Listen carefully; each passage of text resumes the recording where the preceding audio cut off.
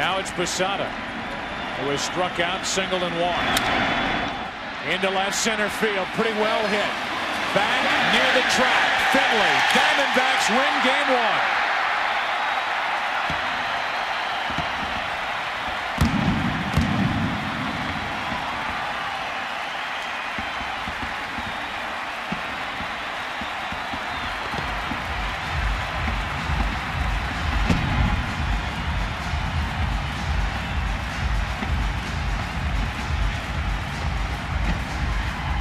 Many starting pitchers do you see go out on the field to shake hands with the guys who provided the offense? Not many.